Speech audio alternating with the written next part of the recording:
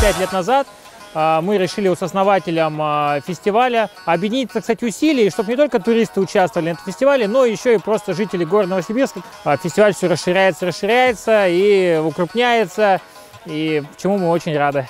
На данный момент 70 команд, 200 участников. Ну, у нас, конечно, традиционно уже основное это строительство иглу, параллельно мастер-класс по строительству. Также у нас здесь есть олени для фотосессии, хаски. Вечером уже после 19 будет а, такой ночное иглу, ночной город эскимосов, где будут иглу подсвечены. Ну и желающие могут переночевать. И планируем каждое воскресенье с 12 до 16. Здесь будут наши а, ребята, которые будут рассказывать и вообще показывать, как что делать.